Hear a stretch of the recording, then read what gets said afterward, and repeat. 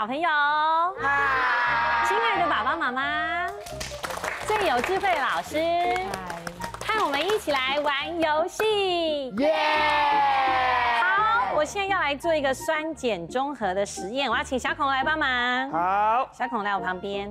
这边呢有一个瓶子，里面装的白色粉末就叫做小苏打。嗯，那这是醋酸，请小恐龙把醋酸慢慢倒进小苏打的瓶子里。好的。经过化学反应呢，就会产生一些二氧化碳。大家有看到吗？正在冒泡泡哦。好，如果呢小恐龙一直没有停，加入大量的醋酸之后，大家看，哎呦。二氧化碳这么多，就会冲出瓶口喽。对耶。所以呀，这就告诉我们哦，在生活里面啊，不管是好或不好的事情啊，如果过量了，都会造成一定的影响哦。如果你的身体呢是这个装小苏打的瓶子，长期摄取某些特定物质，就有可能让你的身体啊有一种负担的感觉，甚至让健康亮起红灯哦。所以啊，适量而止，就是维持身体的轻松和健康。最好方法哦，那我们来看看小恐龙，嗯，最近又做了什么事？一起来看看就知道了。嗯，哇，哎，小恐龙好幸运哦，这里刚好都没有人呢。对呀，那我们来打羽毛球吧。好，等一下，在打羽球之前，我们先把东西放好。来，真的很幸运呢，连椅子上面都没有人。啊，对了，你要喝水哦。我这里也有果汁牛奶。哎，小恐龙，果汁牛奶哎。对啊，嗯，我早餐的时候啊还没有喝完，所以现在要赶快喝，免得它坏掉了。嗯嗯。来来来，我这边还有这个运动饮料。小恐龙，这是运动饮料哎。嗯。毕竟我们等一下是要运动，当然要喝一点运动饮料，补充电解质还有水分啊！而且它甜甜的又健康，好好喝哦。嗯，哎，小恐龙，你刚刚喝完果汁牛奶，现在又在喝运动饮料？对啊，好啦好啦，不多说了，我们先赶快去运动，快点。来，冠胜，你有信心吗？有。好，Round One。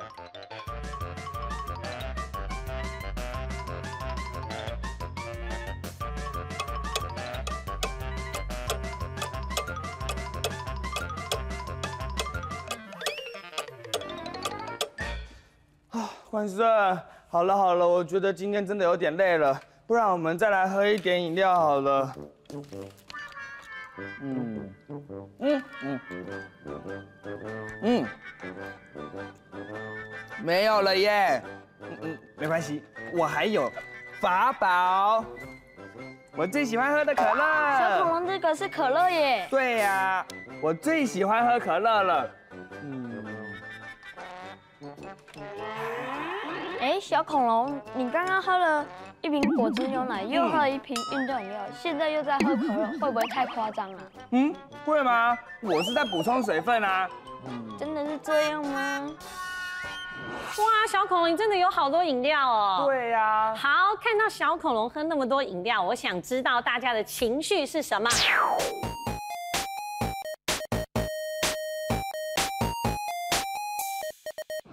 觉得高兴，为什么？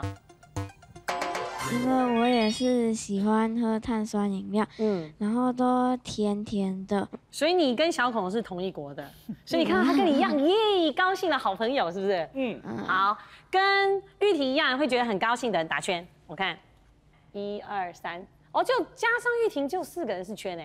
好，那玉婷请坐下，有没有有别的情绪要告诉我的？哦，你觉得很烦啊？为什么？因为他如果带太多饮料的话，对身体会很不好。你担心他，嗯，还是你想说为什么没分你喝？对，你又担心他，又想说为什么没分你喝，是不是？嗯，我了解。好，请坐下。跟冠胜有一样心情的人打圈。我也是这么想哎，如果是我的话，我也想多喝一点。一二三四五六七八九，有九个人。好，那就要问爸爸妈妈了。请问，当小朋友啊常常跟你要求，或者常常要喝这些饮料的时候，您的心情是什么？您是紧张的，说看，就是他们喝太多甜的东西，我担心会对身体不太好。而且甜的东西会造成小孩子心理亢奋，有时候，呃，特别是晚上要睡觉之前就比较难入眠。你有觉得哦？有有有，那你家的小孩爱喝吗？很爱啊，他们什么都喝，平常是以牛奶为主要啦，所以白开水我就会一直叮咛，所以也是会注意一下。但是他心里有一个喝饮料的渴望，对对，然后就让你忍不住紧张起来了。是。那所有的爸爸妈妈会觉得紧张的人打圈我看。一二，加上妈妈三，三比三。好，那就先谢谢琼怡妈妈。哦，老师，所以含糖饮料对我们小孩来说是开心、快乐，想到就忍不住要笑出来。可是大人有的紧张，说不定有的还有一点烦恼，怎么差距这么大啊？呃，对了，没有错，因为饮料基本上就看我们刚刚讨论的饮料，基本上是甜的。对，甜这个东西呢，会让我们觉得比较的开心，是甜蜜的感觉。对对，但是另外一个部分我们要考量的就是它所带来的影响，包括热量的部分，还有就是说，当我们摄取过多的时候，是不是对我们身体会有一些负担？嗯，啊，那这些负担可能长久下来就会对身体会有一些的影响。哦，对。不过大家有没有去想过呢？到底这个糖和我们的生活有多密切呢？马上进行讨论时间。你最爱喝什么饮料呢？现场统计，大家最喜欢的种类有白开水、乳酸饮料、果汁、碳酸饮料、调味乳和鲜奶。为什么这些饮料会这么受欢迎呢？一起来了解吧。好，开会说看。因为果汁里面有一些。果粒，喝起来你的感觉就是很开心。原来如此，难怪你爱果汁。好了，我要问冠胜。呃，因为有时候可能我喝鲜奶，有时候可能会不身体会不舒服。哦，所以才可以配别的，对不对？好，如果现在大人都没有给你规定，每天你都可以选你自己要喝的饮料，然后每天都只能喝同一种，那你会选什么？碳酸饮料。啊，等一下，我看。果然呢，碳酸饮料就是你的第一名哎。好，那我就要问喽。现在现场所有小朋友里面啊，如果你都可以自己选你最爱喝的饮料，固定每天喝同一种，不会选鲜奶，也不会选白开水的人，打圈。当然啦。我看，一二三四五六七，有七个人屹立不了，还是打叉哦。饮料看灯型，到底要怎么喝饮料才健康呢？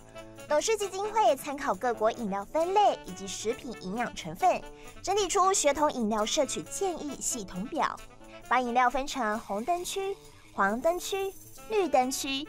现在就请老师带我们认识饮料分类的好吃灯吧。所以，这个绿灯就是每天都可以喝。是的，在绿灯上面呢，我们大家可以看得到的呢，都是没有额外加糖的。然后它又和还有一些我们生长或者说我们每天必须要的营养素。嗯，那黄灯的部分呢就是其次的。那黄灯的部分呢，它有额外的加糖，但是呢，它可能还有一些营养素在里面。对，像刚刚有小朋友提到说他喜欢喝果汁，对，因为里面有一些果粒，哎，没有错，有果粒，可能有一些纤维质。那或者呢，在这个海报上面我们可以看到的调味奶，对，调味奶呢，呃，我们可以说它不是那么的健康，但是呢，它里面又有一。一点点的蛋白质跟钙啊，所以呢，我们把它列在黄灯的部分。每周不超过三次。对，没有错，每周不超过三次。那可能最不建议呢，当然就是红灯的部分了。那红灯的部分呢，哎，也是小朋友其实刚刚讨论很多的，像碳酸饮料或者就是。乳酸饮料的部分，那它呢额外加比较多的糖在里面，然后另外呢其他的营养素的含量不是那么的够，所以呢我们会把它列在红灯，那也就是告诉我们的孩童们呢，一个礼拜不要超过一次，就只能一次就对了。是的。好，这是比较严格的。那这是针对小孩吗？还是我们大人也要算在里面？哦，当然我们大人也可以这么样。可是因为我们会针对小朋友做一个营养教育。对。因为其实我想我们在座的爸爸妈妈也都知道，哎，我们开水是最好的。是。但是孩童们在选择的时候，可能会有一些不同的诱惑，或者说是口味上的，所以我们会建议小朋友、孩童们要一定要以这个做一个标准。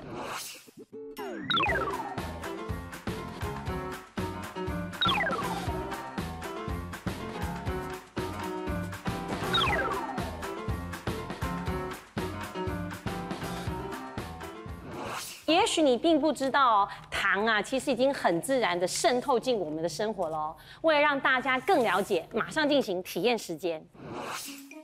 大家爱喝的饮料有调味乳、乳酸饮料、鲜奶、果汁、碳酸饮料，但这些饮料到底含有多少糖分呢？一起来算算看吧。一克方糖等于五公克的糖来做计算。两百九十毫升调味乳含二十四公克糖，等于五克方糖。一百七十毫升的乳酸饮料含二十七公克糖，等于五点五克方糖。两百九十毫升的鲜奶含十二点五公克糖，等于二点五克方糖。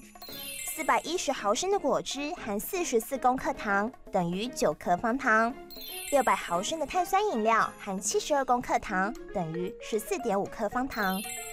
一瓶饮料含有的糖分看起来好像都不太多，但是如果一种饮料每天一瓶，连续喝一个礼拜，累积起来进入肚子里的糖分会变成多少呢？好，我们现在已经大家都已经排了哦，就是一个礼拜每天喝一罐这个饮料的话，会吃到多少糖？我们从彩虹开始说明。我负责的是调味乳，呃，如果照一个礼拜吃下来的话，总共有三十五颗方糖，一天喝一瓶就会吃掉三十五颗方糖。对，哦，好，依婷请说。我负责的是多多，一一个礼拜这样吃下来的话，总共有三十八点五克方糖。光是多多就三十八点五克方糖哦。哦。我负责的是鲜奶，如果一个礼拜每天一瓶的话，是会吃到十七半的方糖，十七颗半的方糖。我负责的是果汁，一个礼拜的话就有六十三个方糖，六十三颗方糖哦。好，安姐，我负责的是可乐，一个礼拜就会有一百零一点五颗方糖。啊，安杰现在感觉怎么样？好恐怖，就觉得恐怖了，对不对？但是凯伟，你觉得呢？如果有这么多的糖的话，那你会觉得每天喝一瓶 OK 吗？不太 OK，不太 OK 对。好，我们谢谢这几位同学，请给他们掌声，请坐。所以老师，这样看起来，我们爱喝的这些饮料含糖量真的很高哎。嗯。是没有错，那一天喝一罐，大家可能没有什么感觉，对，但是累积下来其实是很可观的。事实上呢，我们根据世界卫生组织，也就是 WHO，它有一个建议，嗯，也就是说，我们每一天，不论是孩童也好，或者是我们成人年也是一样的，也就是说，我们额外添加的糖，不要占我们总热量的百分之十。也就是我们每天摄取热量摄取的百分之十，嗯，这样讲大家可能不是很清楚。我们举个例子好了，嗯，我们就以我们的孩童们来讲好了，他们每天热量摄取大概是一千两百到一千四百大卡，嗯，哦，那等于是说我们百分之十的热量是不是来自于我们额外添加的糖？对，所以换算起来，大约我们的孩童们每一天最多最多大概只能吃到六颗到七颗的方糖。一天最多只能吃到六颗到七颗的方糖，那也就是额外添加的。这些小罐乳酸饮料已经快破表嘞。是的，果汁就破了。果汁，哎，果汁跟碳酸饮料已经破表嘞。对，没有错。所以大家好像已经有一点感觉了哈，呃，这个糖量是蛮高的啊。如果说我不管，我就多吃一点，继续吃下去，会有什么后遗症呢？马上进行动动脑时间。脑筋转一转，一起玩游戏。一直吃很多很多的糖，可能会有什么后果？好，大家动动脑，想到的就先举手。好，长轩，糖尿病，会得糖尿病，会吗？小恐龙有没有？噔噔，哎呦，那是糖尿病的伤口吧？好，再问一个。好，冠胜，吃太多的话，身体可能会变胖。变胖。变胖当然也是有喽哦，这确实很很有胖的感觉。还有吗？好，君主，吃太多糖可能会蛀牙。蛀牙？哇！蛀牙，这我感觉蛮小时候老师就教过了。对，我们都常常在提醒大家。还有吗？还有五个哎，大家想到吗？还这么多哎，再动动脑一下。大人回答。糖分如果摄取太多的话，你的肾脏也可能会出毛病。肾脏病有吗？肾脏这边没有哎，老师。所以老师，我们知道的就是肥胖、蛀牙，还有糖尿，然后糖尿病。好的，呃，基本上来讲，蛀牙，我想应该是大家都知道的。对。对，因为我们的牙齿最喜欢用的能量就是我们所谓的蔗糖，对。啊，作为蔗糖的一个我们口腔里面的微生物啦，哈、嗯。所以呢，蛀牙是一定大家会考虑到的。嗯。那另外呢，同学们还提到肥胖，那嗯当然喽，因为呢，我们吃太多的糖，一定会让我们的热量增加。对，那如果说，呃，小朋友他们现在，呃，很爱喝饮料，是，那有可能会有糖尿病的因子种在他的身体里面的基因里。也有可能，因为糖尿病的罹患的因素非常非常多，嗯。嗯，但是就是跟我们的饮食习惯是很有关系的，嗯。嗯，所以我们常常说饮食习惯要从小养成，因为如果小的时候就喜欢这种重口味的话，哎。我们对于甜的这个部分会特别的喜爱，对但是呢，会干扰到我们体内的胰岛素的分泌，哦那可能久而久之，当然就会种下了这个罹患糖尿病的一些危险因子了。那到底对这五个是什么答案呢、好想知道、哦。我们是不是请老师一个一个告诉我们。小孔帆，有可能有高血脂，哦高血脂高血脂哦，OK，好，以及营养不良，营养不良营养不良是哦接下来对大家很重要的生长生长发育受损。哦，那我再看这里，这里是骨质疏松与骨骨。质疏松跟骨折也会啊。好，小朋友要看仔细了哦，还会学习能力变差哎。老师，这个营养不良、生长发育受损、学习能力变差，感觉好恐怖哦。对啊，对，其实基本上来讲，对孩童们是影响很大的。嗯对，就是刚才我们一直强调的，他可能喝了以后饱了，其他食物就少吃了。嗯嗯，哦，那呃，像这个营生长发育，哎，蛋白质不够，对，哦，不喝鲜奶或者是不吃其他的这个蛋白质的食物，可能哎，它这个生长发育就会受到了影响。所以它好像不是立即性的，不是但它是慢慢慢慢的侵入你的身体，然后就对让你有了这种结局。然后另外呢，糖呢，其实也会影响到我们一些骨骼的发育。对，老师，嗯。可是啊，像我知道我们都很喜欢喝像是豆浆啊、优酪乳这种，看起来都很健康，那感觉也不会太甜的话，那它是不是就可以常常喝呢？OK，就像我们刚刚说的乳酸饮料，嗯。因为它的原味是非常的酸的，对。对，嗯。它经过发酵的过程后，它的乳酸菌产生之后，它的酸味非常的重，嗯所以呢，如果我们没有再额外加一些呃糖质的话，其实一般人接受度就比较差了。啊当然也是可以试着去尝试看看啦，嗯哦，或者我们可以添加水果，好把它的味道给中和一下，盖过去，那这样子也是 OK。可是对大部分的小朋友来讲，可能比较难接受它那种比较酸的味道。那豆浆也是一样，嗯其实豆浆是非常棒的饮料。哦它是来自于我们黄豆，非常棒的饮料。但是因为豆浆本身有一个豆味，嗯哦，那也有很多小朋友可能觉得比较难接受。嗯其实我觉得这种口味味觉的部分是慢慢训练的。嗯我们习惯了，我们会觉得，哎，原味其实是最好的。对对，那就不需要再喝一些额外添加糖的部分的饮料。那老师，如果我们都改变成啊，完全都不喝呃，就是有糖的饮料，是那会不会就减少了很多糖类的摄取？那反而会营养不良啊？其实我们今天主要讨论的是额外添加的糖。哦，对，就像我们刚刚说，那各种饮料额外添加的糖，这个部分的糖真的是要稍微控制一下。但是我们希望我们大家摄取的是复合性的糖，也就是来自于刚刚说的全谷类啦、米饭啦，尽量不要吃额外添加的所谓的精致的糖，那个是要特别要控制的了。好，那我就要问哦，那爸爸妈妈，你们现在会觉得说，让小孩控制这个饮料的摄取量是很重要的？打圈，怎么样我都要尽全力来控制，他就觉得也还好，没关系，照以前一样就好的打叉。哦，有 feel 咯。哦呦，好，问小朋友来，现在我已经了解了之后，我会尽力努力去尝试控制一下的人打圈。我真的都没办法，sorry，I can't 的人打叉。啊，还我看看，哦，还是有人没办法，对不对？对好，没关系，你还是可以为你自己的想法跟决定负责哦。哈好，但是呢，小恐龙，嗯说到这里，你为什么有一点疑问感？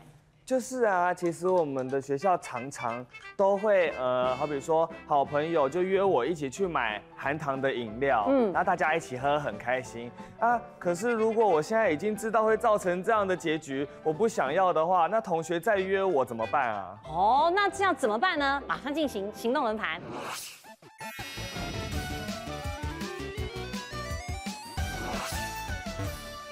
拒绝，为什么？跟我的那个邀请我的那个人说，我这礼拜的那个糖量已经足够了。所以我们今天不能再喝了，no，是不是？哎呀，好新的方法哦！好，谢谢你，请坐下。说出来，好。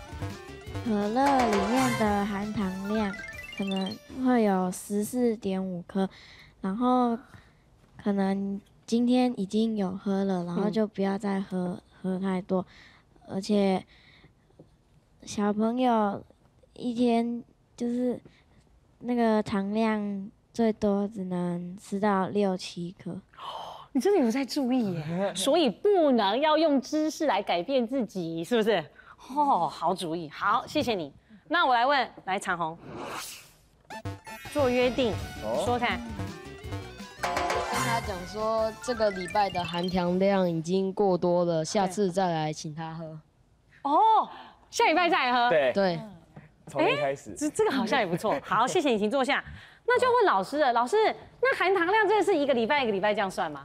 如果我们这种坚持不住的这个方法可以吗？哦，当然喽。如果说我们能够每天控制是最好了。对啊，那真的偶尔一天。那也没有那么严重，好，我们就以整个礼拜的量，让大家比较容易记下来。哦，对，其实刚刚几位小朋友都讲得非常的好，嗯，我觉得做约定是一个非常重要的一个概念，嗯，的一个及一个行动。对，我们跟自己做约定，跟我们的同学做约定，甚至于跟我们的爸爸妈妈做约定。哦，对，然后慢慢改变我们的饮食习惯，然后我们可能刚开始没有办法一下子。进入到我们白开水或者说是我们红我们的绿灯的那个范围，对。但是我们可以减少次数，减少量的部分，嗯，对。那如果刚开始你觉得这个要我一下喝那么多白开水，我没有办法接受，对，就加一点点的天然的东西下去，哦，对，加点柠檬片啊，哦，或者加一点，如果你觉得这个呃所谓的花草茶觉得味道还不错，哎，也可以加一点点下去。好，经过老师刚刚说明呢，跟。刚刚那么多的讨论，我现在感觉像我这种爱糖一族呢，有了一个希望了。就是如果呢，我一开始还是没办法那么好的控制呢，我就告诉自己减少减少。然后呢，呃，知道某些地方呢，我会忍不住去买饮料呢，我就少去。然后呢，调整自己。呃，爱饮料的感觉越来越少呢，对这个糖的抗拒力呢就会越来越强。希望大家开始练习，让自己生活越来越健康哦。祝福大家，谢谢。什么？没想到我今天喝的那三种饮料加起来竟然有二十六颗糖哎！老师说啊，喝那么多糖会变成大胖子，还会影响发育，长不高。呵，我不敢再喝这么多饮料了啦。